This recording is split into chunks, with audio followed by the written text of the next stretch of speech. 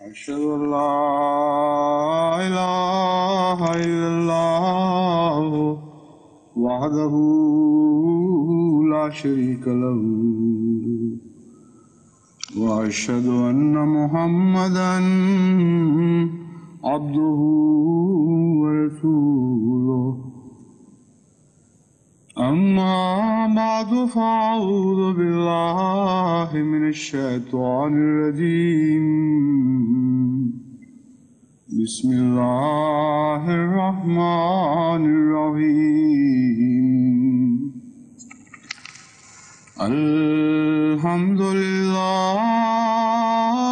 رب العالمين.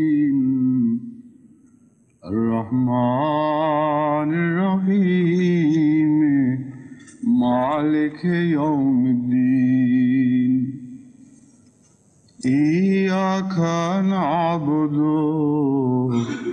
وإياك نستعين. اهدنا الصراط المستقيم. صراط الذين أنعمت عليهم.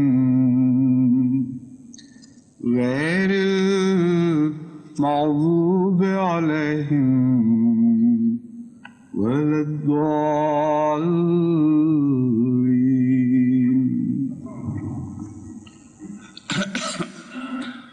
قوموں کی تعمیر کا آغاز گھروں سے ہوتا ہے۔ اگر ہم گھروں کی تعمیر کی طرف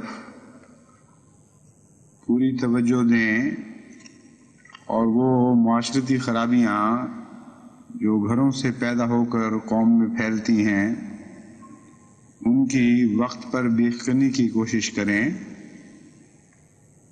تو خدا تعالیٰ کے فضل کے ساتھ جماعت احمدیہ کی مجموعی تصویر بہت ہی حسین ہو جائے گی۔ تمام دنیا میں سب سے زیادہ بااخلاق جماعت جماعت احمدیہ ہونی چاہیے۔ میں اس لیے نہیں کہ ہر جماعت کو، ہر قوم کو اپنے متعلق بڑی بڑی باتیں کرنے کی عادت ہوا کرتی ہے۔ بلکہ اگر ہم وہی جماعت ہیں، یا جو ہمارا دعویٰ ہے، تو اس کے سوا کوئی منطقی نتیجہ نکلتا ہی نہیں۔ کہ جماعت احمدیہ کو دنیا کی سب سے زیادہ بااخلاق جماعت ہونا چاہیے۔ کیونکہ ہمارا دعویٰ یہ ہے کہ ہم حقیقی معنوں میں دنیا کے سب سے بااخلاق انسان کے ساتھ وابستہ ہیں۔ ساری کائنات میں کبھی ایسا حسین حسین خلق کسی نے نہیں دیکھا تھا جو حضرت اقدس محمد مصطفیٰ صلی اللہ علیہ وآلہ وسلم سے رونما ہوا۔ اور آپ کے حقیقی غلام ہم ہیں آج۔ یہ ہے ہمارا دعویٰ۔ اس کے بعد اس کے سوا کوئی منطقی نتیجہ نکل ہی نہیں سکتا۔ خواہ کوئی دنیا کی کسی تہذیب سے وابستہ ہو، کسی قوم سے وابستہ ہو، کسی مذہب سے وابستہ ہو۔ خواہ اس کا، اس تہذیب کا نام کسی فلسفے کی بنا پر پڑا ہوا ہو یا کسی اقتصادی پالیسی کی بنا کے اوپر۔ یا مادیت کی بنا پر یا روحانیت کی بنا پر جس طرح چاہیں اس کو کروٹ بدل کر دیکھ لیں۔ کسی بھی حیثیت سے کوئی قوم دنیا میں ابھری ہو یا موجود ہو۔ حضرت اقدس محمد مصطفیٰ صلی اللہ علیہ وآلہ وسلم کی غلامی میں اگر وہ نہیں، تو لازماً اس کے اخلاق میں کوئی بنیادی نقائص نظر آئیں گے۔ یہ ہو ہی نہیں سکتا، یہ ایک ناممکن بات ہے۔ زمین و آسمان الٹ پلٹ سکتے ہیں، مگر یہ حقیقت نہیں بدل سکتی کہ اخلاق کاملہ حضرت اقدس محمد مصطفیٰ صلی اللہ علیہ وآلہ وسلم سے سیکھے جا سکتے ہیں، اور وہ قومیں جو آپ سے وابستگی سے محروم ہیں۔ اور کسی عزم کے ساتھ ان کا تعلق ہو، کسی مذہب سے تعلق ہو، ان کے اندر لازماً بنیادی اخلاقی نقائص نظر آئیں گے۔ بس ہم نے جب یہ دعویٰ کیا کہ ہم حضور صلی اللہ علیہ وآلہ وسلم کے غلام اور حقیقی غلام ہیں، تو اگر ہم اس دعوے میں سچے ہیں، تو ساری دنیا کے اخلاق درست کرنے کا دعویٰ کیا ہے۔ ساری دنیا کے لیے نمونہ بننے کا دعویٰ کیا ہے۔ اور اس پہلو سے بہت ہی عظیم ذمہ داری عائد ہوتی ہے۔ کسی کو یہ توفیق نہیں ملنی چاہیے کہ کسی احمدی کے خلق پر انگلی اٹھا کر رکھ دکھا سکے کہ اس میں یہ کجی ہے اور یہ کمبدی ہے۔ کسی غیر احمدی کے تصور میں بھی نہیں یہ بات آنی چاہیے۔ اب وہ مسلمان ہو یا غیر مسلم ہو۔ کہ مجھے حق پہنچتا ہے کہ کسی احمدی کے متعلق جائز شکایت کروں۔ لیکن امر واقعہ یہ ہے کہ بعض اوقات بہت ہی تکلیف ہوتی ہے یہ معلوم کر کے کہ بعض احمدیوں نے بعض غیر احمدیوں سے بدخلقی کی، بعض غیر مذاہب والوں سے بدخلقی کی، ان کے جائز حقوق دبائے، ان کے ساتھ زیادتیاں کی، ناانصافیاں کی۔ بعض دفعہ ان کا تعلق نہیں بھی ہوتا جماعت احمدیہ سے، تب بھی مجھے خط لکھتے ہیں۔ اور جب میں تحقیق کرواتا ہوں تو یہ معلوم کر کے بہت ہی تکلیف پہنچتی ہے کہ شکایت کنندہ درست تھا۔ لین دین کے معاملات، دودھ دیگر معاملات کے علاوہ عام حسن خل کے معاملے میں بھی بعض کمزوری دکھا جاتے ہیں۔ جلسوں کے موقع پر اشتواعات کے موقع پر۔ تو یہ تمام باتیں جو بظاہر عوامی باتیں ہیں، جن کا باہر کی دنیا سے تعلق ہے، اگر آپ غور کریں تو ان کی، ان خرابیوں کا آغاز گھروں میں ہوتا ہے۔ ماؤں کی کوکھ میں ہی جہنم بھی بن رہی ہوتی ہے اور جنت بھی بن رہی ہوتی ہے۔ گھروں ہی میں جرائم بھی پل رہے ہوتے ہیں اور جرائم کے انسداد کے لیے اصلاحی حالات بھی پیدا ہو رہے ہوتے ہیں۔ گھروں سے اچھل کر یہ چیزیں باہر گلیوں میں جاتی ہیں، تو شہروں کو بد بھی بنا دیتی ہیں اور شہروں کو اچھا بھی کر دیتی ہیں۔ اس لیے گھروں کی طرف بہت ہی ضرورت ہے کہ ہم توجہ دیں اور بڑی تفصیل کے ساتھ گھروں کے حالات درست کرنے کی کوشش کریں۔ اور اس کے لیے کہیں باہر جانے کی ضرورت نہیں۔ ہر مرد ذمہ دار ہے سب سے پہلے کہ وہ اپنے اخلاق درست کرے۔ ہر عورت ذمہ دار ہے کہ وہ اپنے اخلاق درست کرے۔ پہلی نسل کے جو لوگ ہیں، بڑی نسل کے لوگ، ذمہ داری وہاں سے شروع ہوتی ہے۔ پھر آگے اپنے بچوں کو، اپنے بہوؤں کو، اپنے دامادوں کو، اپنی بیٹوں، بیٹیوں کو، ان کو بھی ویسے ہی اخلاق سکھانے کی کوشش کی جائے۔ یہ مضمون جو روزمرہ کے معاملات کا گھروں میں کیا ہوتا ہے، کیسے اخلاق بگڑتے ہیں، کیسے اخلاق بنتے ہیں، بہت وسیع مضمون ہے۔ میں نے آج کے خطاب کے لیے حضرت مسیم علیہ السلاۃ والسلام کے چند اقتباسات چنے ہیں جو میں آپ کے سامنے رکھتا ہوں۔ جیسا کہ باریک نظر حضرت مسیم علیہ السلاۃ والسلام کو عطا ہوئی اس دور میں، ویسی کسی اور کو نصیب نہیں ہوئی۔ اور آپ کسی ایک طرف کی بات نہیں کیا کرتے تھے، کیونکہ آپ کو خدا نے حکم اور عدل بنایا تھا۔ آپ کا مزاج نرم تو تھا، مگر ایسا نہیں کہ کسی ایک لڑکی کے رونے دھونے پر ساسوں کے خلاف ہی سخت فتویٰ دے دیں۔ یا کسی ایک ماں کے رونے دھونے پر بہوؤں کے خلاف فتوے دے دیں۔ خالصتاً قرآن اور سنت پر مبنی مزاج تھا، جس کے نتیجے میں آپ کے مزاج سے ہر بات درست صادر ہوتی تھی۔ اس لیے بہت ہی اہم ہے کہ ہم حضرت مسیم علیہ السلاۃ والسلام کے اقتباسات پر آپ کے ارشادات پر غور کریں اور ان کی روشنی میں اپنے گھروں کے حالات کو درست کرنے کی کوشش کریں۔ حضرت مسیم علیہ السلاۃ والسلام فرماتے ہیں، والدہ کا حق بہت بڑا ہے اور اس کی اطاعت فرض۔ مگر پہلے یہ دریافت کرنا چاہیے کہ اس کی ناراضگی کی تہ میں کوئی اور بات تو نہیں۔ یہ جواب ایک ایسے استفسار کے نتیجے میں آپ نے دیا، جس میں یہ پوچھا گیا تھا کہ میری والدہ میری بیوی سے ناراض ہے اور مجھے طلاق کے واسطے حکم دیتی ہے۔ اب یہ واقعات روزمرہ ہمارے معاشرے میں ملتے ہیں۔ ایسی صورت میں کیا کرنا چاہیے؟ حضرت نسیم علیہ السلۃ والسلام فرماتے ہیں کہ والدہ کا بہت بڑا حق ہے، اس کی اطاعت فرض ہے۔ مگر پہلے یہ دریافت کرنا چاہیے کہ آیا اس ناراضگی کی تہ میں کوئی اور بات تو نہیں ہے جو خدا کے حکم کے بموجب والدہ کی ایسی اطاعت سے بری ذمہ کرتی ہو۔ مثلا اگر والدہ اس سے کسی دینی وجہ سے ناراض ہو یا نماز روزہ کی پابندی کی وجہ سے ایسا کرتی ہو تو اس کا حکم ماننے اور اطاعت کرنے کی ضرورت نہیں ہے۔ حضرت مسیم علیہ والسلام نے شری، شریعت کے معاملات کے سوا جن میں خدا کے فرائض کے مقابل پر والدہ کے حقوق، بظاہر والدہ کے حقوق آتے ہوں۔ وہاں لازماً اللہ کے حق حقوق ادا کرنے کی تعلیم دی، لیکن اس کو چھوڑ کر باقی معاملات میں خامن پر، مرد پر یہ ذمہ داری ڈالی کہ اگر والدہ یہ کہے کہ بیوی کو طلاق دے دو اور اس کی وجہ بیوی کا نیک ہونا نہ ہو، عبادت گزار ہونا نہ ہو، پردہ دار ہونا نہ ہو، یہ وہ امور ہیں جن کا شریعت سے تعلق ہے۔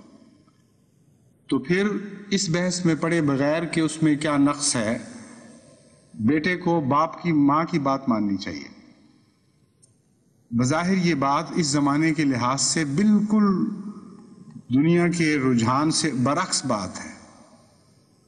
آج کل کی جو زمانے کی جو رفتار ہے، آج کل کے جو حالات ہیں، سوچوں کی اور سوچوں اور سوچ اور فکر کی جو نہج ہے، یہ تو بالکل اس کے منافی بات ہے۔ حضرت مسیم علیہ السلاۃ والسلام جب یہ فرماتے ہیں تو آگے اس کی حکمت بھی بیان فرماتے ہیں۔ فرماتے ہیں کہ ہر دفعہ یہ خیال کر لینا کہ ماں کا قصور ہے اور بہو ہمیشہ درست ہے، یہ درست بات نہیں ہے۔ ماں کو بیٹے سے بہت محبت ہوتی ہے اور بیٹے کی بھلائی چاہتی ہے اور نہیں پسند کرتی اللہ ماشاء اللہ کہ میرے بیٹے کا گھر اجڑے۔ اس لیے جب ماں کی طرف سے کوئی شکایت پیدا ہوتی ہے تو اس کو اہمیت دینی چاہیے۔ فرماتے ہیں کہ بسا اوقات بعض عورتیں بہت چلاک ہو چلاکی کے ساتھ اپنے مظالم کا شکوہ کرتی ہیں اس رنگ میں کہ دوسرا متاثر ہو جاتا ہے۔ لیکن لوگ یہ نہیں سمجھ سکتے کہ ان کے اندر بعض دفعہ شرارت بھی پائی جاتی ہے۔ ماں سے الگ کرنا بیٹے کو، بہنوں سے الگ کرنا، اپنے دوسرے رحمی رشتوں سے الگ کرنا، یہ بنیادی طور پر قرآن تعلیم کے خلاف ہے۔ اس لیے ہر وہ بات جس میں رحم پر حملہ ہوتا ہو اور قطع رحمی اس کا نتیجہ نکلتی ہو، وہ ناجائز اور خلاف شریعت ہے۔ یہ بنیادی اصول ہے جس کو سمجھنا چاہیے۔ اس لیے بہوؤں کے حقوق اپنی جگہ موجود ہیں۔ اس میں کوئی اس سے کوئی انکار نہیں۔ لیکن ماں کے ساتھ بیٹے کا رشتہ قطع کرنے کرنے، قطع کرنے کے لیے اگر کوئی بہو کوشش کرتی ہے، تو حضرت نسیم علیہ صلاۃ والسلام کے اس فیصلے کے مطابق جو قرآن و سنت پر مبنی ہے، ماں کو یہ بھی حق ہے کہ بیٹے کو کہے کہ اس کو طلاق دے دو۔ فرماتے ہیں، اصل میں بعض عورتیں محض شرارت کی وجہ سے ساس کو دکھ دیتی ہیں، گالیاں دیتی ہیں، ستاتی ہیں۔ بات بات میں اس کو تنگ کرتی ہیں۔ والدہ کی ناراضگی بیٹے کی بیوی پر بے وجہ نہیں۔ سب سے زیادہ خواہش مند بیٹے کے گھر کی آبادی کی والدہ ہوتی ہے۔ اور اس معاملے میں ماں کو خاص دلچسپی ہوتی ہے۔ بڑے شوق سے ہزاروں روپیہ خرچ کر کے خدا خدا کر کے بیٹے کی شادی کرتی ہے۔ تو بھلا اس سے ایسی امید وہم میں بھی آ سکتی ہے کہ وہ بے جا طور سے اپنے بیٹے کی بہو سے لڑے، جھگڑے اور خانہ بربادی چاہے۔ ایسے لڑائی جھگڑوں میں عموماً دیکھا گیا ہے کہ والدہ ہی حق بجانب ہوتی ہے۔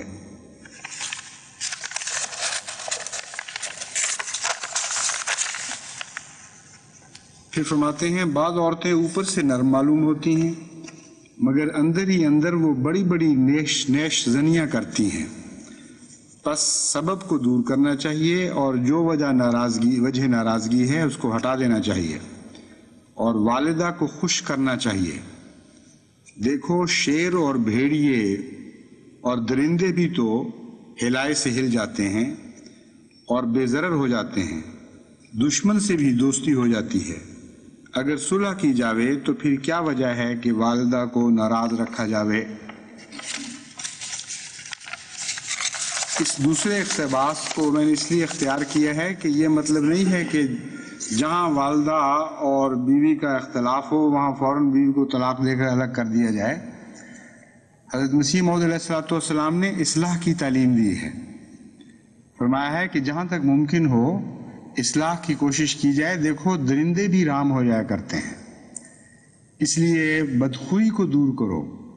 لڑنے کے اصل سبب کو معلوم کرو اور حکمت کے ساتھ اس سبب کو دور کرنے کی کوشش کرو۔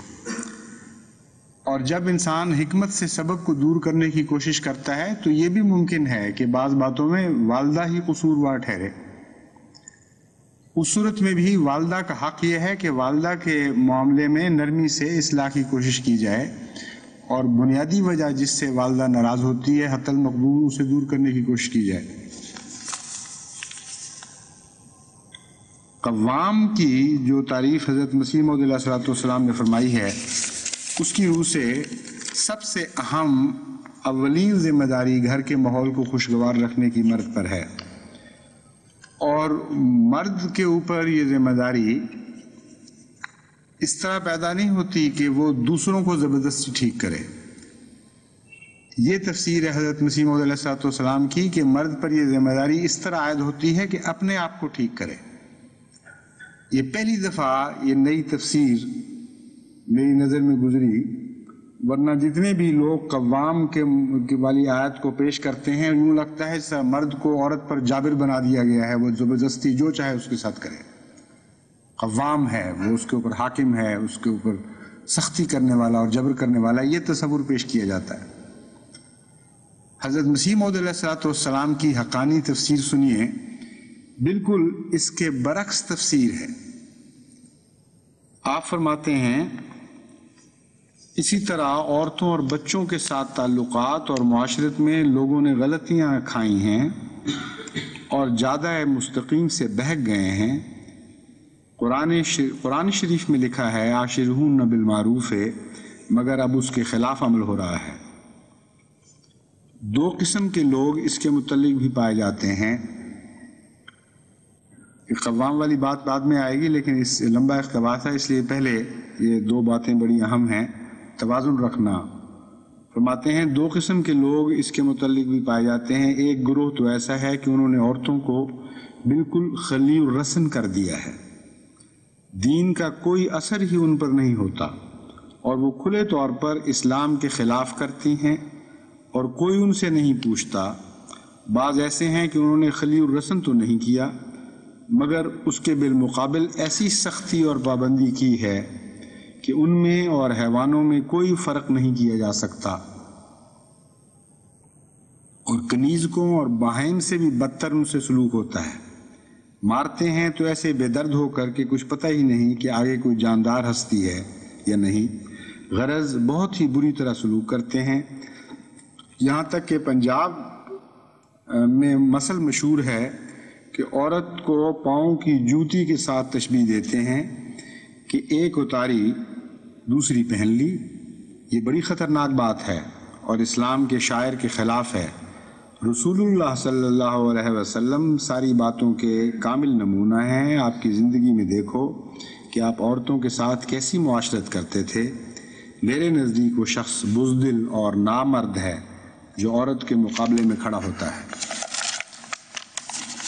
قوام کی یہ تفسیر ہے، اس کے بعد آگے مزید معلوم ہوگی کہ قوام کا یہ مطلب نہیں ہے کہ عورت کے ساتھ مقابل پر کھڑا ہو اور بڑی بڑی شیخیاں مارے اور پھر اس کو دبائے اور گالی گلوچ کرے۔ یہ بالکل غلط بات ہے ہرگز قوام سے اس کا تعلق نہیں۔ قوام کا مطلب ہے عدل پیدا کرنے والا، توازن پیدا کرنے والا۔ ہر انتہا سے پاک ہو، خود اور اپنے گھر کو بھی مختلف انتہاؤں سے بچا کے رکھے۔ ایک طرف عورت کو ایسی چھٹی نہ دے کہ وہ بے حیائی شروع کر دے، آوارگی شروع کر دے اور اپنی اولاد کو بھی ساتھ برباد کرے، ان کو بھی لے ڈوبے۔ اور دوسری طرف ایسی سختی نہ کرے کہ جس کے نتیجے میں ہر روز گھر جہنم کا نمونہ بنا رہے۔ عملاً دونوں ہی جہنم میں ہیں اور دونوں جہنموں کا مرد ذمہ دار ہوگا۔ یہ دوسری جہنم جو ہے وہ دنیا کی جہنم ہے، اس دنیا میں جہنم پیدا کرتا ہے انسان۔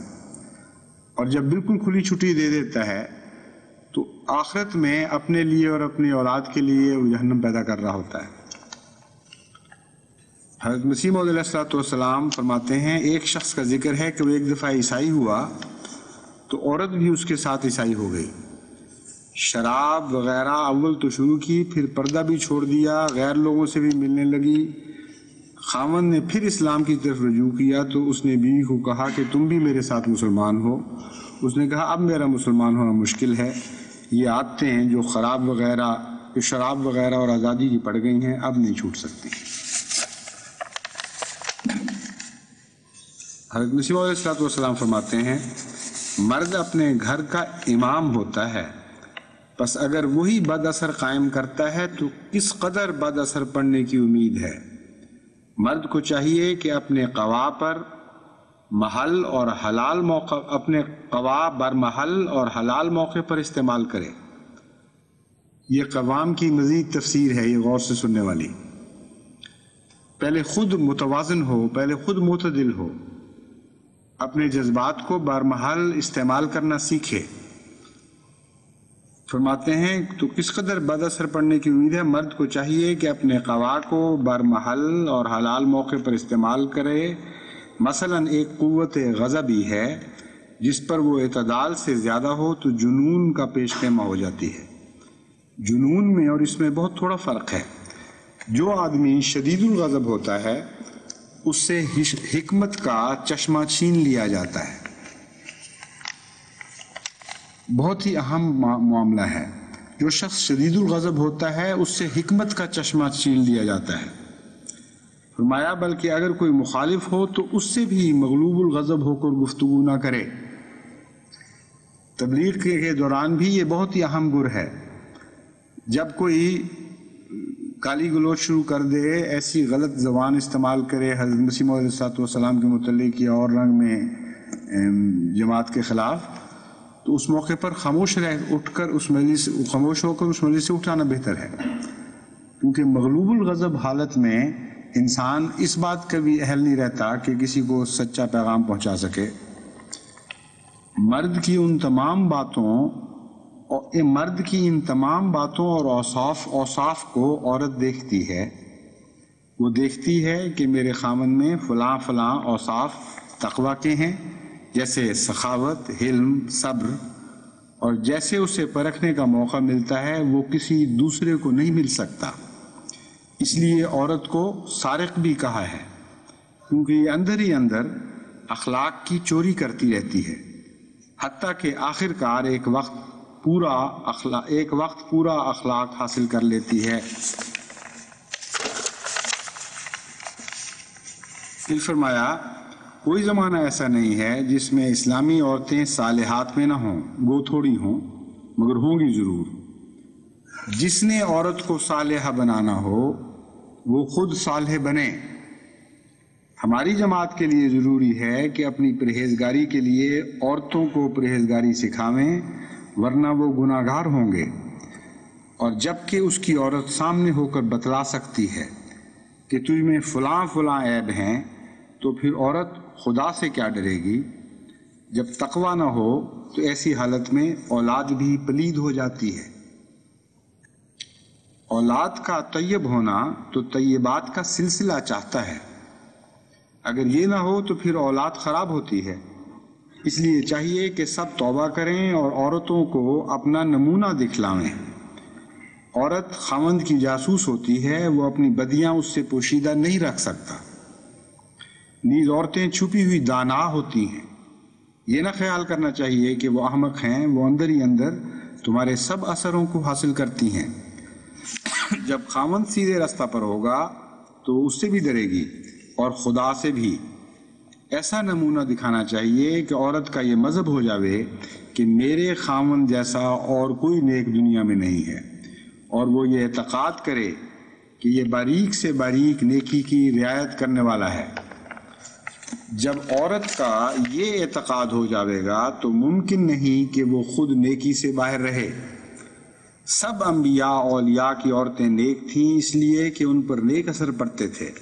جب مرد بدکار اور فاسق ہوتے ہیں تو ان کی عورتیں بھی ویسی ہی ہوتی ہیں۔ ایک چور کی بیوی کو یہ خیال کب ہو سکتا ہے کہ میں تہجد پڑھوں؟ خاون تو چوری کرنے جاتا ہے، تو کیا وہ پیچھے تہجد پڑتی ہے؟ الرجال قوامون علی النساء اسی لیے کہا ہے کہ عورتیں خاون سے متاثر ہوتی ہیں۔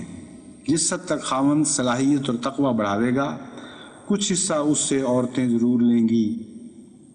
ویسے ہی اگر وہ بدمعاش ہوگا تو بدماشی سے وہ حصہ لیں گی۔ یہ ہے جہاں جا کر بات پوری کھل جاتی ہے کہ قوام کا کیا معنی ہے۔ قوام کا یہ معنی نہیں ہے کہ مرد خود جو چاہے کرتا پھرے۔ ڈنڈے مار کے عورتوں کو سیدھا کرے۔ قوام کا یہ معنی ہے کہ مرد اپنی اصلاح کرے، کیونکہ جو کچھ وہ کرتا ہے عورتیں خاون سے متاثر ہوتی ہیں۔ اور چونکہ وہ اثر قبول کرنے والی ہیں، اس لیے خاون کے لیے ضروری ہے کہ اپنی اصلاح کرے اور اس اصلاح کو تاثیر کے طور پر اپنی بیویوں میں رائج کرے۔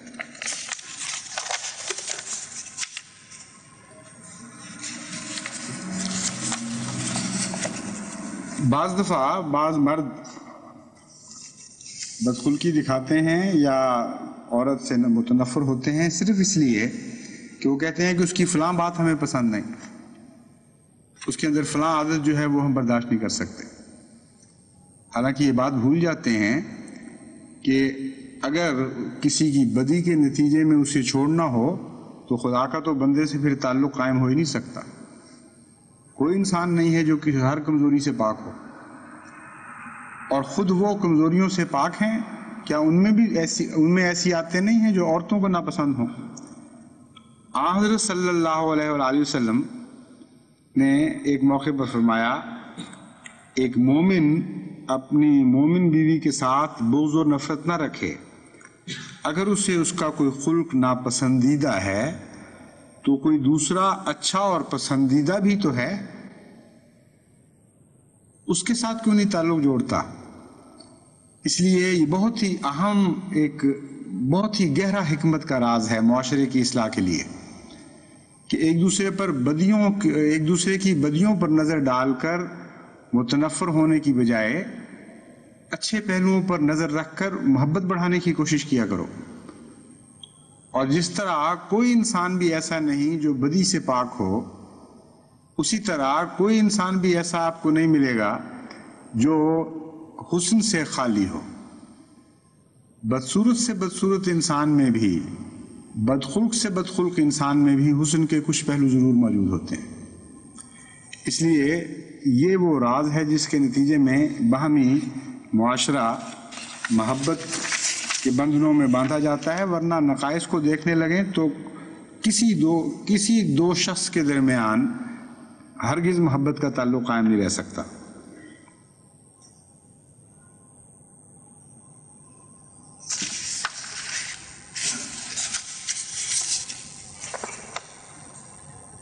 عورتوں کے متعلق گزشتہ مرتبہ میں نے کہا تھا کہ مرد اس بنا پر کہ قرآن کریم نے بعض شرائط کے ساتھ عورتوں کو بدنی سزا دینے کی اجازت عطا فرمائی ہے۔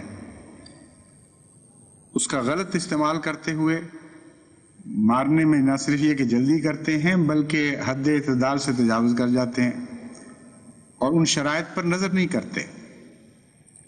حضرت صلی اللہ علیہ وآلہ وسلم کا اسوا جیسا کہ میں نے بیان کیا تھا۔ ہمیں یہ بتاتا ہے کہ کسی ایک موقع پر بھی حضور صلی اللہ علیہ وآلہ وسلم نے نہ صرف یہ کہ عورت پر ہاتھ نہیں اٹھایا، بلکہ جیسا کہ میں نے روایت بیان کی تھی، حضرت ابو بکر حضرت عائشہ کو سزا دینے لگے تھے۔ حضرت صلی اللہ علیہ وسلم نے حضرت ابو بکر کی سزا سے اپنی ان کی بیٹی کو بچایا۔ ایک اور بڑی دلچسپ روایت اس معاملے میں ملتی ہے۔ حضرت عمر کا اپنا ایک مزاج تھا۔ حضرت ابو بکر اور حضرت عمر کے مزاج میں بڑا فرق ہے۔ حضرت ابو بکر کا مزاج بے انتہا نرم تھا۔ اس کے باوجود حضرت عائشہ پر ہاتھ اٹھانا بتاتا ہے کہ کس قدر ان کو حضرت رسول اکرم صلی اللہ علیہ وسلم سے عشق تھا۔ اور دوسروں کے متعلق ان کو خیال نہیں آیا کرتا تھا کہ وہ ان پر سختی کی جائے یعنی حضرت ابو بکر سے، رضی اللہ تعالیٰ عنہ سے کوئی حدیث ایسی ثابت نہیں۔ کہ یہ مطالبہ کیا ہوا حضور صلی اللہ علیہ وسلم سے کہ فلاں پر سختی ہونی چاہیے اور فلاں پر سختی ہونی چاہیے۔ مگر حضرت عمر کا مزاج مختلف تھا، اس لیے وہ معاشرے کی خرابیاں دیکھ کر برداشت نہیں کر سکتے تھے۔ اور جلد تر سختی پر آمادہ بھی ہو جاتے تھے اور مشورے بھی یہی دیا کرتے تھے۔ ایک موقع پر ابو داود ابن ماجہ اور دارمی وغیرہ کی مشکات کے حوالے سے روایت ہے۔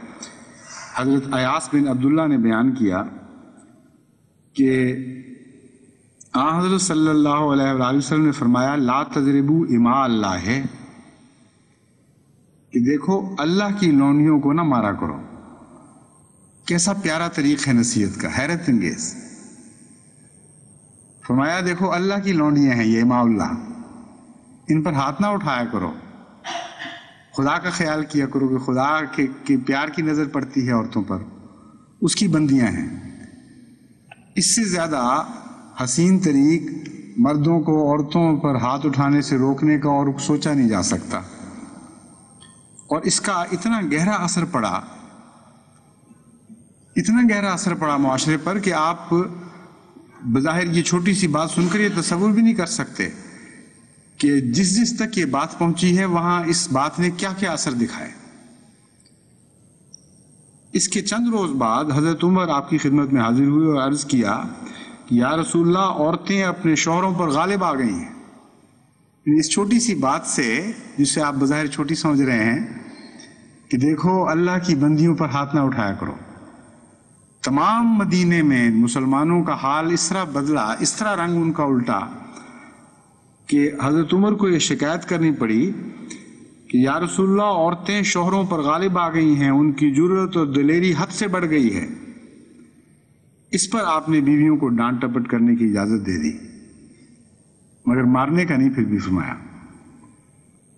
اس کی کچھ عرصہ کے بعد پھر بہت سی عورتیں ازواج متحرات کے پاس آنے لگیں اور اپنے خامدوں کی شکایتیں کی۔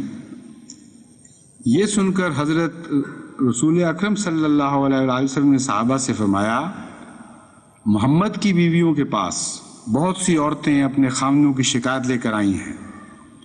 تم میں سے وہ شخص اچھا نہیں ہے جو اپنی بیویوں کے ساتھ بدسلوکی کرے۔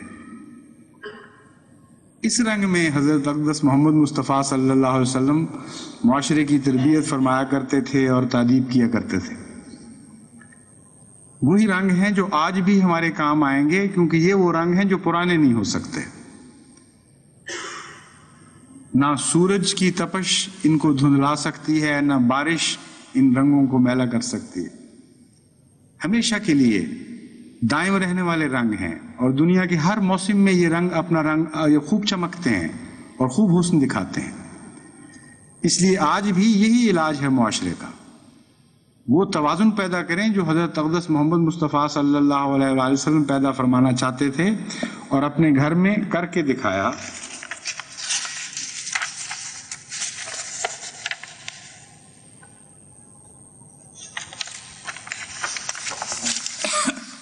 جہاں تک معاشرے کی اصلاح کا تعلق ہے، اس کے باوجود بعض اوقات طلاق کی مجبوری ہوتی ہے اور ایسے مواقع آ جاتے ہیں کہ طلاق دینی پڑتی ہے یا طلاق عورت مانگتی ہے اس کو لینی پڑتی ہے۔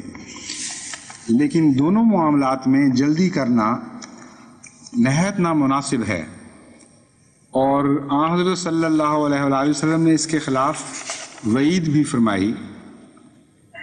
اس عورت کے متعلق جو طلاق کے معاملے میں جلدی کرتی ہے، آپ نے فرمایا کہ اس پر جنت کی خوشبو حرام ہے۔ ایسی عورت جو جائز وجہ کے بغیر،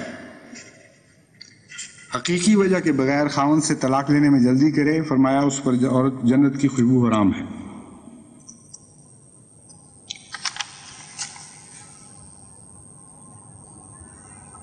حضرت مسیم علیہ والسلام بھی طلاق میں جلدی کے بہت مخالف تھے اور حضرت صلی اللہ علیہ وآلہ وسلم کے اسوا کا اس زمانے میں جس رنگ میں آپ نے احیاء کیا ہے، جس طرح دوبارہ جاری فرمایا ہے، یہ یہ تو خوش نصیبی ہے ہماری کہ وہ باتیں جو تاریخ میں پڑھا کرتے تھے، اس دور میں آپ نے زندہ کر کے دکھائیں۔ اور آج ہمیں اپنے معاشرے میں ان کو اسی طرح جاری کرنا ہوگا۔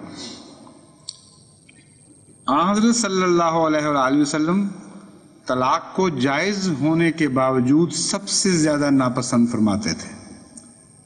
آپ فرماتے تھے کہ اللہ کے نزدیک سب حلال چیزوں میں سب سے زیادہ مقبوض چیز طلاق ہے۔ سب سے زیادہ ناپسندیدہ چیز طلاق ہے تمام حلال چیزوں میں۔ ایک موقع پر ایک شخص حضور صلی اللہ علیہ وسلم کی خدمت میں حاضر ہوا اور اس نے کہا کہ یا رسول اللہ میری بیوی نشوز کرتی ہے اور یہ کرتی ہے اور وہ کرتی ہے۔ آپ نے فرمایا کہ پھر اس کو طلاق دے دو۔ اس نے پھر عرض کی کہ یا رسول اللہ میرے بچے بھی ہیں۔ آپ نے فرمایا دیکھو ٹھہرو۔ بچے بھی ہیں، پھر تمہیں اصلاح کی کوشش کرنی چاہیے۔ کوشش کرو جس حد تک بھی ممکن ہے اصلاح احوال ہو جائے۔ اس سے پتہ چلتا ہے کہ طلاق جب بچے ہو جائیں تو اور بھی زیادہ ناپسندیدہ ہو جاتی ہے۔ جن حالات کو سن کر حضور صلی اللہ علیہ وسلم نے فیصلہ فرمایا ہے، ان سے معلوم ہوتا ہے کہ حضور صلی اللہ علیہ وسلم براہ راست اس عورت سے واقف تھے۔ ورنہ یک طرفہ بات سن کر حضور اکرم صلی اللہ علیہ وسلم فیصلے نہیں دیا کرتے تھے۔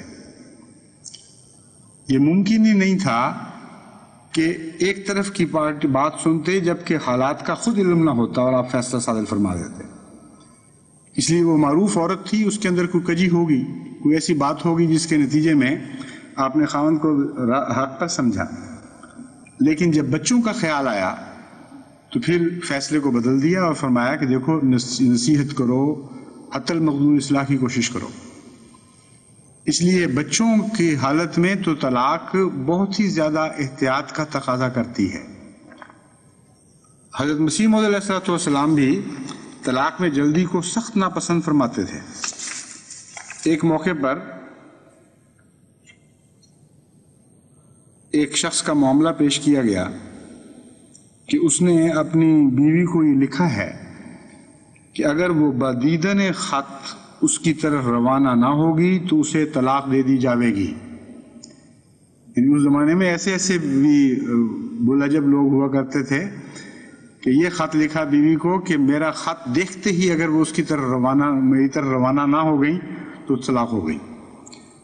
سنا گیا ہے کہ اس پر حضرت اقدس علیہ السلام نے فرمایا، جو شخص اس قدر جلدی قطع تعلق کرنے پر آمادہ ہو جاتا ہے، تو ہم کیسے امید کر سکتے ہیں کہ ہمارے ساتھ اس کا پکا تعلق ہے؟ کیسی حکمت کی بات ہے؟ کیسی گہری بات ہے؟ جو شخص اپنی بیوی سے قطع تعلقی کرنے میں جلدی کرتا ہے یا بیوی خامن سے، ایسے لوگوں کا مزاج ان کو نیکوں سے قطع تعلق کرنے میں بھی جلدی کرواتا ہے۔ اور اچھی باتوں سے بھی اسی طرح محروم کر دیتا ہے۔ اس لیے اس پر نگاہ رکھنی چاہیے۔ اور تعلق کو جہاں تک ممکن ہو نبھانا چاہیے۔ چھوٹی چھوٹی ادنا ادنا باتوں پر تعلقات کو منقطع نہیں کرنا چاہیے۔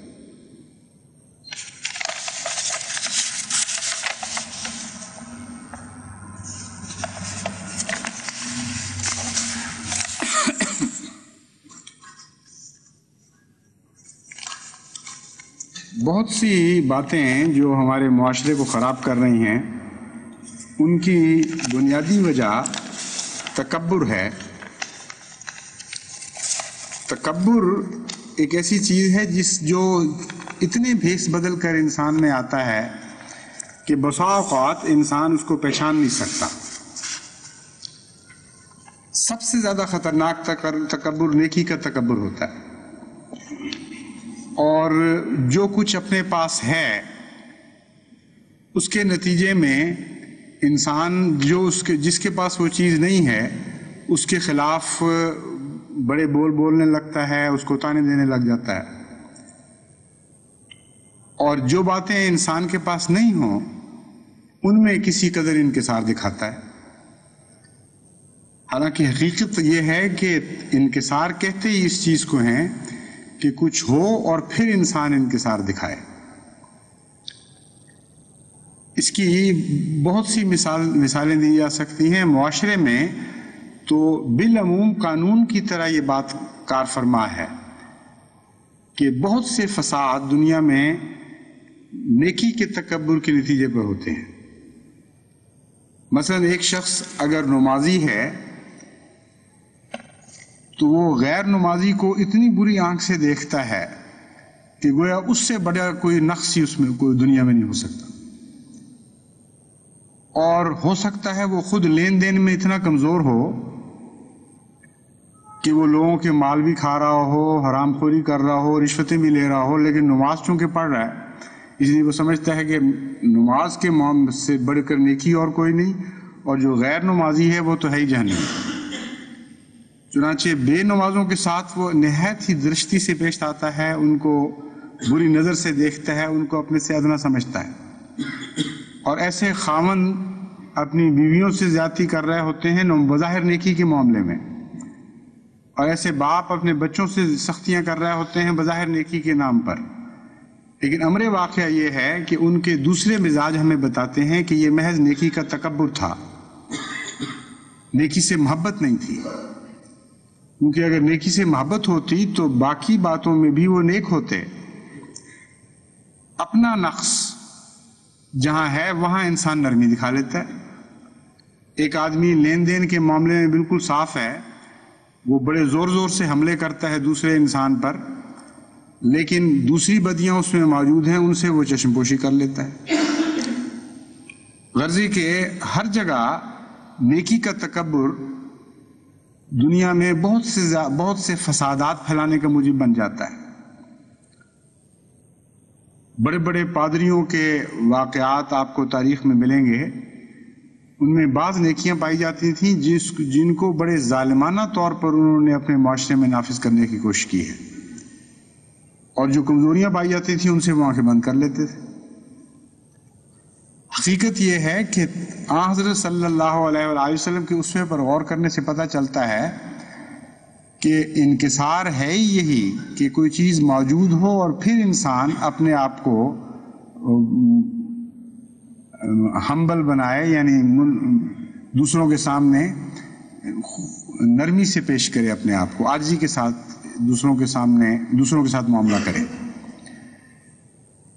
حضرت صلی اللہ علیہ وآلہ وسلم میں ساری نیکیاں اپنے حد کمال تک پہنچی ہوئی تھیں اگر نیکی کے معاملے میں نعوذ باللہ میں ذالک تکبر جائز ہوتا، تو پھر آ حضرت صلی اللہ علیہ وآلہ وسلم کو سارے بنی نو انسان سے قطع تعلق ہو جانا چاہیے تھا۔ اور ہر ایک پر ہر بات میں سختی کرنی چاہیے تھی۔ اور کسی سے کسی ایک معاملے میں بھی آپ نے سختی نہیں فرمائی۔ کون سی نیکی ہے جو حضرت اقدس محمد مصطفیٰ صلی اللہ علیہ وآلہ وسلم میں اپنے پورے کمال اور عروج تک موجود نہیں تھی؟ لیکن ان نیکیوں کو نافذ کرنے میں آپ نے انتہائی انکساری سے کام لیا، نرمی سے کام لیا، محبت اور پیار سے کام لیا۔ اس لیے جب آپ تانے دیتے ہیں دوسرے کو بدیوں کے، تو بسا اوقات اگر آپ دل پہ غور کریں تو معلوم ہوگا کہ اپنے نفس کے تکبر کی بنا پر وہ تانا دیا جا رہا ہے۔ اس لیے نیکیوں نیکیاں نافذ کرنے کے لیے انکساری ضروری ہے۔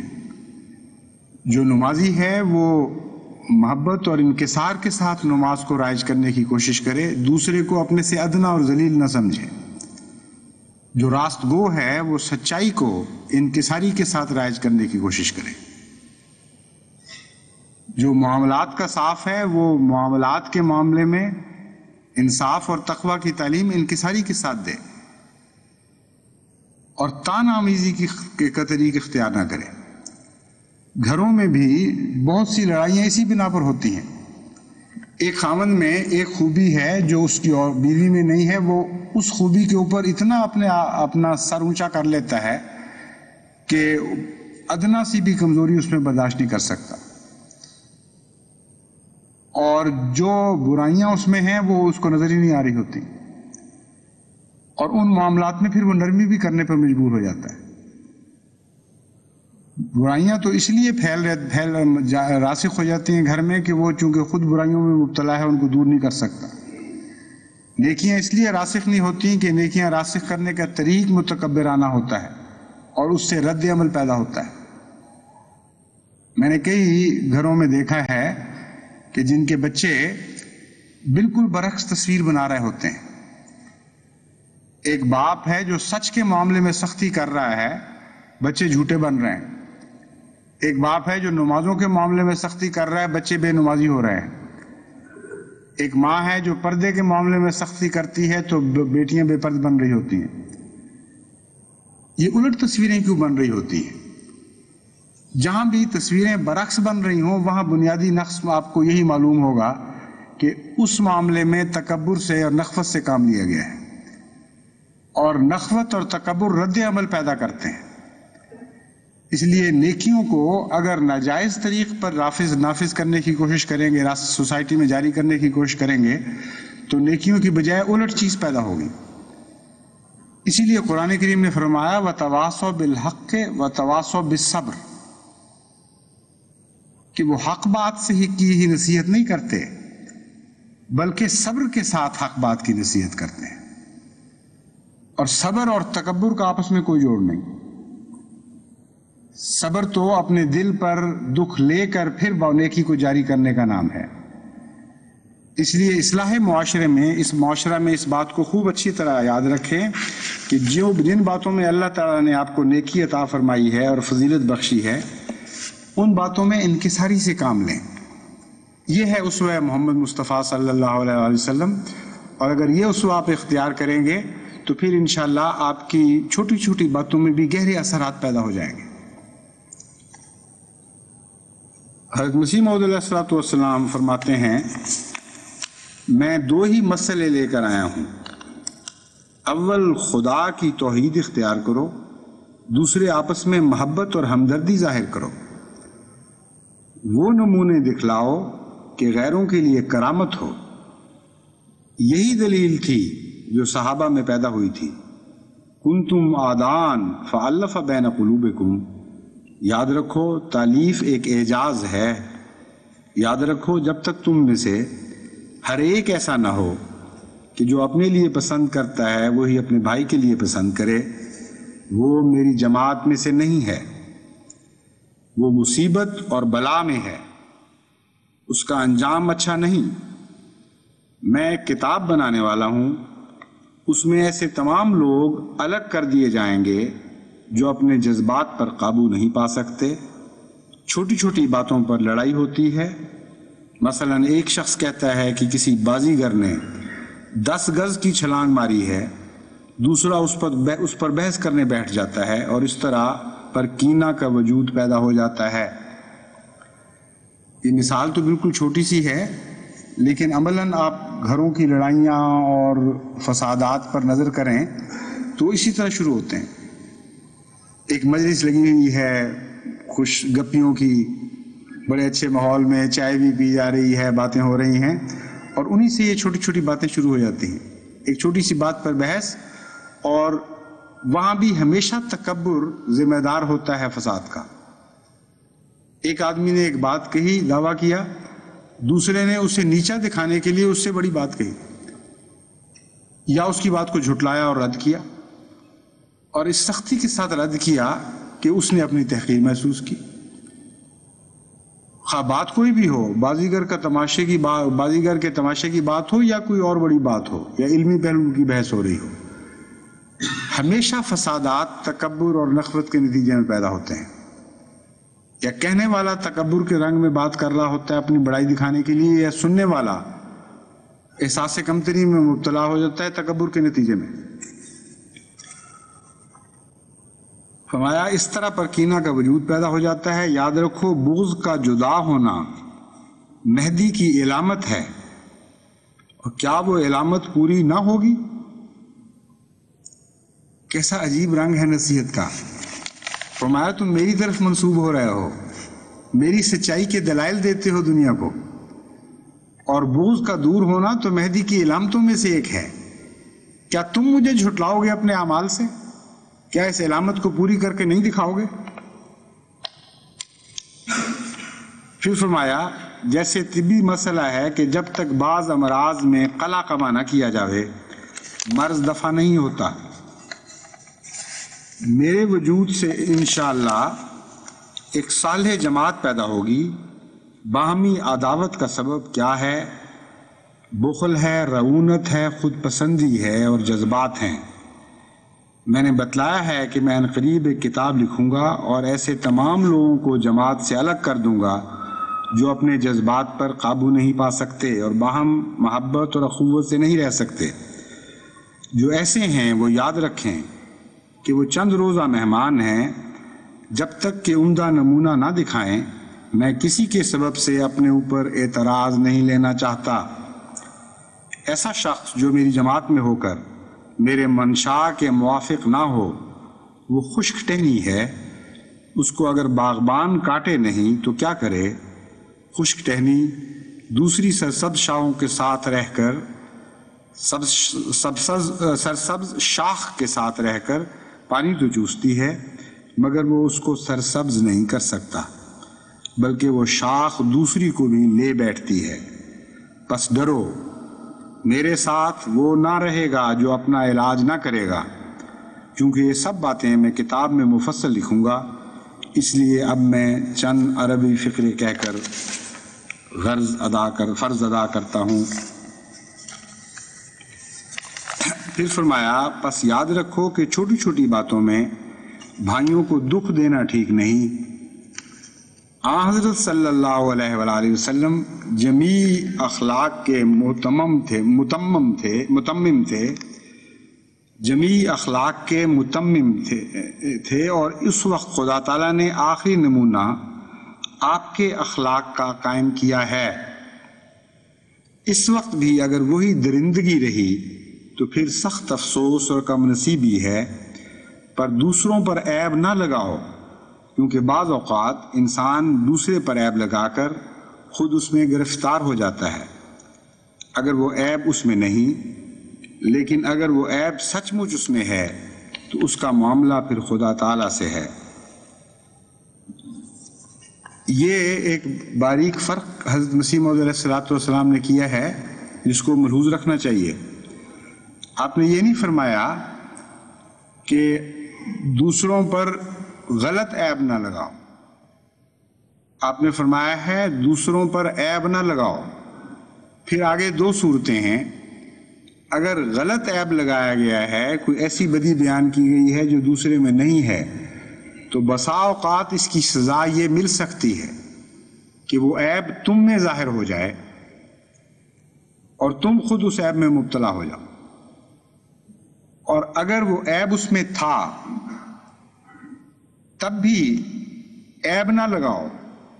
پھر اس کا معاملہ خدا کے ساتھ ہے، خدا پر اس کے معاملے کو چھوڑو۔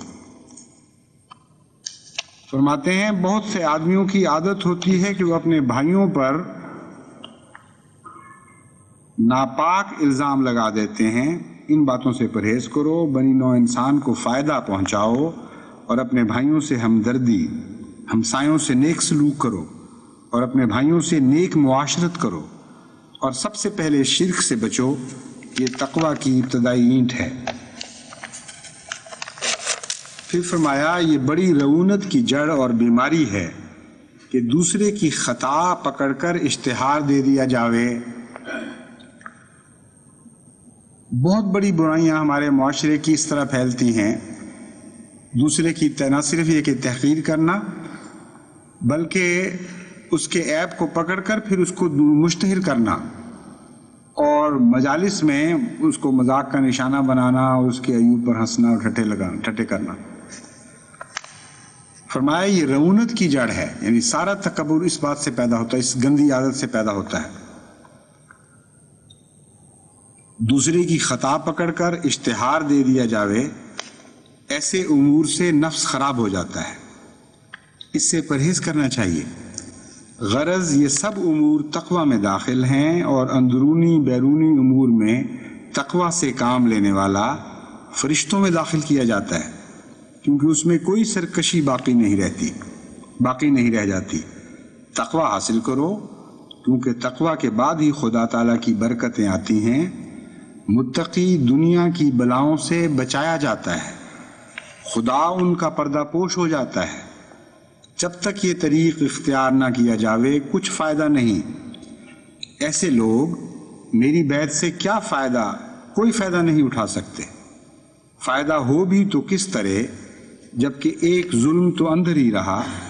اگر وہی جوش رعونت تکبر، عجب، ریاکاری سری الغضب ہونا باقی ہے، جو دوسروں میں بھی ہے، تو پھر فرق ہی کیا ہوا؟ پھر فرماتے ہیں، میں دیکھتا ہوں کہ جماعت میں باہم نزائیں بھی ہو جاتی ہیں اور معمولی نزاع سے پھر ایک دوسرے کی عزت پر حملہ، ایک دوسرے کی عزت پر حملہ کرنے لگتا ہے اور اپنے بھائی سے لڑتا ہے۔ یہ بہت ہی نامناسب حرکت ہے۔ یہ نہیں ہونا چاہیے، بلکہ ایک اگر اپنی غلطی کا اعتراف کر لے تو کیا حرج ہے؟ بعض آدمی ذرا ذرا سی بات پر دوسرے کی ذلت کا اقرار کیے بغیر پیچھا نہیں چھوڑتے۔ ان باتوں سے پرہیز کرنا لازم ہے۔ خدا تعالیٰ کا نام ستار ہے۔ پھر یہ کیوں اپنے بھائی پر رحم نہیں کرتا اور افو اور پردہ پوشی سے کام نہیں لیتا؟ چاہیے کہ اپنے بھائی کو کی پردہ پوشی کرے اور اس کی عزت اور آبرو پر حملہ نہ کرے۔ ایک چھوٹی سی کتاب میں لکھا دیکھا ہے کہ ایک بادشاہ قرآن لکھا کرتا تھا۔ ایک ملا نے کہا کہ یہ آیت غلط لکھی ہے۔ بادشاہ نے اس وقت اس آیت پر دائرہ کھینچ دیا کہ اس کو کاٹ دیا جائے گا۔ جب وہ چلا گیا تو اس دائرہ کو کاٹ دیا۔ جب بادشاہ سے پوچھا کہ ایسا کیوں کیا، تو اس نے کہا کہ دراصل وہ غلطی پر تھا، مگر میں نے اس وقت دائرہ کھینچ دیا کہ اس کی دلجوئی ہو جاوے۔ یہ وہ باریک مثال ہے کسی نیکی کے ہوتے ہوئے اس میں انکسار کرنا۔ درست ہوتے ہوئے خوشخلکی سے پیش آنا اور انکساری سے پیش آنا۔ سچے ہوتے ہوئے جھوٹوں کی طرح تجرب اختیار کرنا۔ یعنی ایک مولوی نے بادشاہ کی غلطی نکالی اپنی طرف سے اور غلطی نہیں تھی۔ وہ وقت ہے جب انسان غلطی پر نہیں ہے کہ اس کو بتائے زور کے ساتھ، شدت کے ساتھ، اس کا مذاق اڑاتے ہوئے کہ تم خود غلط ہو۔ اس وقت اس نے ایک دائرہ کھینچ دیا اور جھوٹ جھوٹ بھی نہیں بولا یہ نہیں کہا کہ تم ٹھیک کہتے ہو دائرہ کھینچ دیا جس سے اس نے یہ نتیجہ نکالا کہ یہ اس لفظ کو کاٹ دے گا اور بادشاہ نے اس لیے دائرہ کھینچا کہ اس دائرے کو میں کاٹ دوں گا اور اس طرح اس کی دل جوئی بھی ہوگی تو آخری تان حسن خلق پر ٹوٹتی ہے ہر بات کی اگر آپ کا خلق اعلیٰ درجے کا ہو، اگر آپ حضرت اقدس محمد مصطفیٰ صلی اللہ علیہ وآلہ وسلم سے یہ سیکھ لیں کہ جہاں نیکی میں درجہ کمال ہے، وہیں عجز بھی ہے۔ اور عجز سچتا بھی اس کو ہے جس کے پاس کچھ ہو۔ جس کے پاس ہے کچھ نہیں، اس بیچارے نے عجز کیا دکھانا ہے۔ ویسی بات ہے جیسے کسی کے گھر میں دال پکی ہو اور وہ کہہ کہ جی دو دال ہے وہ میں حاضر کرتا ہوں۔ اس کو عجز تو نہیں کہہ سکتے۔ وہ تو ہے ہی دال، اس بیچارے کو اور کیا کہیں گے؟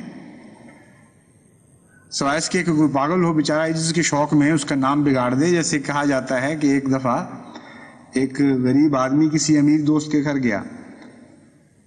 تو اس نے بہت ہی اعلیٰ کھانے پکائے، ہر قسم کی خاطر مدارات کی۔ اور جب دسترخوان پر بلایا تو نہایت ہی عمدہ قسم کے کھانوں کو سامنے پیش کرتے ہوئے کہا کہ معاف کرو بھائی، جو دال دلیا حاضر تھا وہ میں نے پیش کر دیا۔ یہ تو انکسار ہوا۔ بظاہر، عملاً تو یہ انکسار نہیں ہے، بلکہ دکھاوے کے رنگ میں یہ بات ہوتی ہے۔ مگر بہرحال اگر وہ اخلاص سے کی جائے تو انکسار ہے۔ اس کے بعد اس دوست، غریب دوست نے دعوت کی اور واقعتاً دال تھی۔ تو اس نے سوچا کہ اتنے اچھے کھانوں کا نام اس نے دال دلیا رکھا تھا، میں اس دال کو کیا کروں؟ اس کو کیا نام دوں؟ تو اس نے دال پیش کرتے ہوئے کہا کہ حضور، اور میرے پاس تو کچھ بھی نہیں، جو گند بلا ہے وہ حاضر ہے۔ تو دال کا گند بلا ہی بنایا جا سکتا تھا۔ تو اگر تمہارے پاس کوئی نیکی نہیں ہے، تو تکبر کیا کرو گے؟ گند کا نام اس سے زیادہ بڑا گند رکھ دو گے۔ انکسار کیا دکھاؤ گے؟ اس کا گند کا نام، اس سے بڑا گند تو نہیں رکھ سکتے۔ انکسار کہتے اس بات کو ہیں کہ خوبی ہے اور اپنی خوبی سے چشم پوشی اس طرح کرنا کہ گویا وہ خوبی نہیں ہے۔ سچے ہو کر جھوٹوں کی تزل دکھانا یا خدا کے پاک نبی بن کر یہ اس کے حضور عرض کرنا کہ میں تو کرم خاکی ہوں، بشر کی جائے نفرت ہوں، انسانوں کی آر ہوں، میرے میں کچھ بھی نہیں ہے۔ لوگ کہتے ہیں کہ نالائق نالائق نہیں ہوتا قبول۔ میں تو نالائق بھی ہو کر پا گیا درگاہ میں باہر۔ اس کو انکسار کہتے ہیں، اس کو عجز کہتے ہیں۔ بس اپنی خوبیوں پر عجز کرو اور پھر دیکھو کہ معاشرہ کتنی تیزی کے ساتھ سدھرنے لگتا ہے۔ دوسرے کی بدیوں پر تکبر نہ کرو۔ اپنی کمزوریوں پر انکسار تو دکھانا پڑتا ہی ہے۔ امر واقعہ یہ ہے کہ جہاں تک انسانی کمزوریوں کا تعلق ہے، جو شخص اپنی نیکیوں پر بھی انکسار دکھاتا ہے، اپنی کمزوریوں پر تو اس کا یہ حال ہوتا ہے کہ خدا کے حضور کٹ مرتا ہے۔ سوائے شرمندگی اور خدا کے حضور آنسو بہانے، ندامت کے آنسو بہانے کے اس کے پاس کچھ بھی نہیں رہتا۔ اور جو شخص اپنی نیکیوں پر تکبر کرتا ہے، اس کو بدیوں پر شرمندگی کی توفیق بھی نہیں ملتی۔ یہ ان دونوں باتوں کا گہرا آپس میں تعلق ہے۔ ایک ایسا جوڑ ہے جس کو آپ الگ نہیں کر سکتے۔ یاد رکھیں کہ جو شخص اپنی نیکی پر متکبر ہے، میں پھر اس بات کو دہراتا ہوں کہ اس شخص کو اپنی کمزوریاں بسا اوقات نظر نہیں آتی۔ اور یہ دونوں باتیں ایک دوسرے سے گہرا تعلق رکھتی ہیں۔ اس کے نتیجے میں اس کو ندامت اور استغفار کی توفیق نہیں مل سکتی۔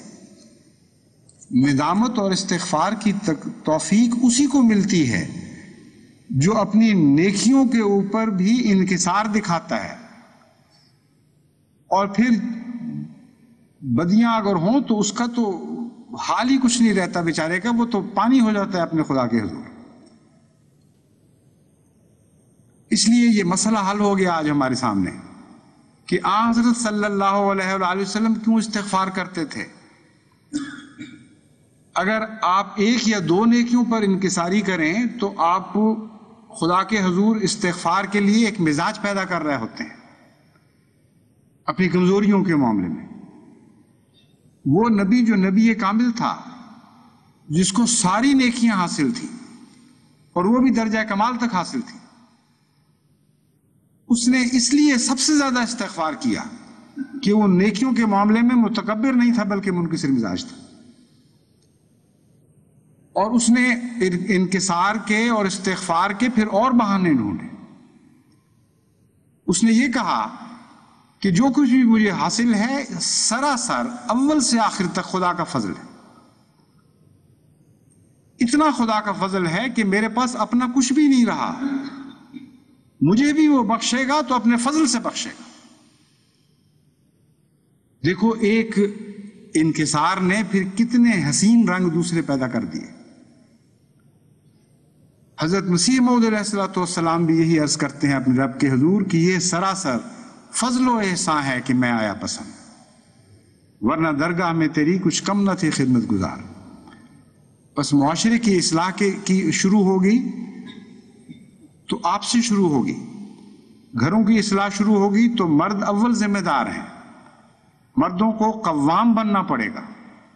لیکن قوام ان معنوں میں، جن معنوں میں حضرت مسیح محدود علیہ والسلام نے بیان فرمایا ہے کہ دوسرے کی اصلاح اپنی اصلاح کے ذریعے کریں اور اپنی اصلاح کے ذریعے دوسرے میں اس کی تاثیر جاری کریں۔ صحبت صالحین جس کو کہتے ہیں، یہ وہ تعریف ہے قوام کی۔ کہ مرد قوام ان معنوں میں ہے کہ وہ خود صالح بنتا ہے اور اس کی صالحیت میں تاثیر پیدا ہو جاتی ہے اور وہ تاثیر اس کے گھر میں اثر دکھاتی ہے اور اس کے نتیجے میں اس کی عورت بھی خوبصورت بننی شروع ہو جاتی ہے اخلاقی لحاظ سے اور پھر اس کی اولاد میں بھی وہ تاثیر جلوہ گر ہو جاتی ہے۔ اور انکسار کا دامن پکڑ لیں، کسی معاملے میں تکبر نہ کریں۔ اگر آپ تکبر نہیں کریں گے تو آپ کے منہ سے دکھ کا کلمہ نکلے گا۔ خواہ وہ بحث ہو رہی ہو یا کوئی معاملہ آپس کا انسانی معاملہ ہو، ہر معاملے میں تکبر اثر انداز ہو رہا ہوتا ہے۔ اس لیے انکسار سیکھیں اور انکسار سیکھیں حضرت اقدس محمد مصطفیٰ صلی اللہ علیہ وسلم سے۔ کیونکہ آپ کو درجہ کمال حاصل تھا۔ حقیقت یہ ہے، جیسا کہ میں نے بیان کیا ہے، انکسار کا اگر صحیح انسان مفہوم سمجھ جائے تو ساری دنیا کی دولتیں اس کو میسر آ جاتی ہیں۔ بعض لوگ بیچارے انکسار کا مفہوم نہ سمجھنے کے نتیجے میں انکسار میں بھی تکبر کر رہے ہوتے ہیں۔ یعنی اتنا دھوکہ ہے اس مسئلے میں کہ آدمی حیران رہ جاتا ہے۔ ایک امیر آدمی اپنی عمارت کے روب جتانے کے لیے کہتا ہے جی میرا معمولی سا گھر ہے، بس چھوٹی سی کٹیا ہے تشریف لائیں آپ میرے گھر میں۔ اور انکسار نہیں ہو رہا ہوتا۔ مراد یہ ہوتی ہے کہ دیکھو جی میری چھوٹی سی کٹیا دیکھو کہ تم بڑے بڑے لوگوں کے محلوں سے بھی افضل ہے اپنے کھانے کو جب وہ برا بھلا کہتا ہے بظاہر، تو وہ بھی انکسار کی وجہ سے نہیں، بلکہ دکھاوے کا ایک رنگ ہے، ایک برتری کا اظہار کا ایک طریق ہے۔ اس لیے عجیب بات ہے کہ ہمارے تو انکسار میں بھی تکبر پایا جاتا ہے۔ جب معاشرے بگڑتے ہیں تو یہ حال ہو جاتا ہے بیماریوں کا۔ اس لیے حکمت کے ساتھ آنکھیں کھول کر معاملہ کریں۔ بہت ہی بڑی ذمہ داری ہے جماعت احمدیہ کی کہ نہ صرف اخلاق پیدا کریں بلکہ اخلاق کو مکارم تک پہنچائیں۔ اور مکارم سے آگے بڑھا کر مکارم اخلاق کو بھی زینت بخشیں۔ اگر ہم ایک باخلاق جماعت بن جائیں جو سچے معنوں میں باخلاق ہو، جس کی بنیاد، جن اخلاق کی بنیاد تقوی پر ہوتی ہے، حکمت پر ہوتی ہے تو پھر دیکھیں کہ آپ کے دوسرے کام کتنے آسان ہو جاتے ہیں۔ سب سے پہلے تو اس کا اجر آپ کے اپنے گھروں میں ملنا شروع ہو جائے گا۔ وہ گھر جو جہنم بنے ہوئے ہیں ہم میں سے بہت سے لوگوں کے لیے، وہ جنت بن جائیں گے۔ بے وجہ لڑنا، بے وجہ ایک دوسرے کو گالیاں دینا، دکھ دینا، تانے دینا، مصیبت پڑی ہوئی ہے دونوں فریق کو۔ نہ تانے دینے والا خوش، نہ وہ خوش جس کو تانے دیے جا رہے ہیں۔ خام خواہ گھر ٹوٹ رہے ہیں، جہنم کا نظارہ ہے۔ گھر تو تسکین کے لیے ہوتے ہیں، ان گھروں میں اپنے حسن کے، حسن خل کے ذریعے جنتیں پیدا کریں۔ اگر یہاں کی جنت نصیب نہ ہوئی تو وہاں کی جنت کے خواب بالکل جھوٹے نکلیں گے، یہ میں آپ کو بتا دیتا ہوں۔ وہ معاشرے کی جنت جس کو ایک نبی دنیا میں پیدا کرنے کے لیے آتا ہے، وہ پہلے اس دنیا میں اس کو نصیب ہوتی ہے، پھر آخرت میں جا کے نصیب ہوتی ہے۔ جنتان کا جو وعدہ ہے، وہ انہیں معنوں میں ہے۔ کہ ہر مومن کے لیے دو قسم کی جنت ہیں۔ ایک اس دنیا میں وہ جنت جو وہ اپنے ہاتھ سے بنا رہا ہوتا ہے، اور پھر ایک وہ جنت جو خدا اسے اس دنیا میں عطا کرتا ہے بے انتہا بڑھا چڑھا کر۔ اس کو اس پہلی کی جنت سے کوئی بھی نسبت نہیں باقی رہتی اس لیے اپنے معاشرے کو حسین بنائیں کہ ایک پھل تو آپ کو اسی وقت ملنا شروع ہو جائے گا۔ اور دوسرا پھل آپ کو یہ ملے گا کہ بڑی عظیم قوت آپ میں مقناطیسی رنگ کی پیدا ہوگی۔ حسین معاشرے کی طرف ارد گرد کا معاشرہ کھنچتا چلا آتا ہے۔ آپ کی تبلیغ میں عظمت پیدا ہو جائے گی۔ آپ کی بات میں ایک رفت پیدا ہوگی، بلندی پیدا ہوگی۔ اور آپ اپنے ماحول کو کھینچ کر تیزی کے ساتھ احمدیت میں جذب کرنے لگیں گے اور اپنی ان ذمہ داریوں کو ادا کریں گے جو آج آپ کے کندھوں پر ڈالی گئی ہیں۔ اللہ تعالیٰ ہمیں اس کی توفیق خدا فرمائے۔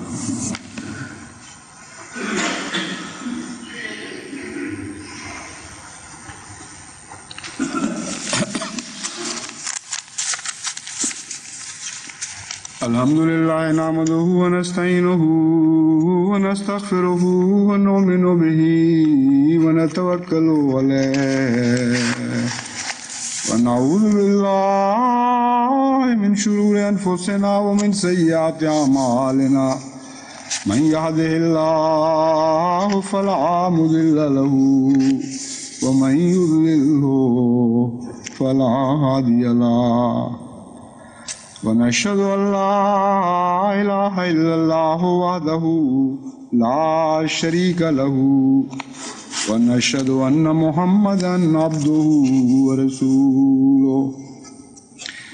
ابھی نماز جمعہ کے بعد اثر جمع ہوگی اور اس کے بعد انشاءاللہ دو نماز جنازہ غائب پڑھائی جائیں گی۔ ایک تو فاطمہ بیگم، حضرت سیٹھ محمد عبداللہ علیہ دین کی صاحبزادی وہ ہندوستان میں ہی رہتی تھیں حیدرآباد دکن میں، وہاں سے تشریف لائی تھیں اپنے عزیزوں سے ملنے کے لیے لاہور، وہاں ان کا انتقال ہو گیا۔ اپنے بزرگ باپ کی طرح بہت ہی نیک خو نیک خلق اور عبادت گزار، تقوی شعار خاتون تھیں۔ اور دوسرا نماز جنازہ، کس کا میں نے ہاں عبد الرحیم صاحب ماریشس ماریشس والے کہلاتے تھے، یہاں انگلستان کی جماعت کے۔ اولین کارکنوں میں سے ہیں۔ جب میں انگلستان میں چند، کچھ عرصے کے لیے تعلیم کے لیے آیا تھا، تو اس وقت عزیز دین صاحب اور عبد الرحیم صاحب یہی روئے رواں ہوا کرتے تھے یہاں جماعت میں۔ اور کھانا پکانا راتوں کو اٹھ کر مہمانوں کی عیدوں وغیرہ کے موقع پر ان ان کاموں میں یہ دونوں بہت پیش پیش ہوا کرتے تھے۔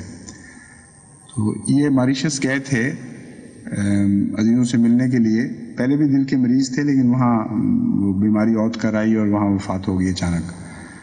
تو یہ ان کا لنڈن کی جماعت پر خاص حق ہے، اس لیے ان کی بھی نماز جنازہ غائب ہو گئی تھی۔ عباد اللہ، رحمکم اللہ، ان اللہ یامر بالعدل واللسان وإيتاء ذي وينهى عن الفحشاء والمنكر والبغي يعظكم لعلكم تذكرون اذكروا الله يذكركم وادعوه يستجب لكم ولذكر الله أكبر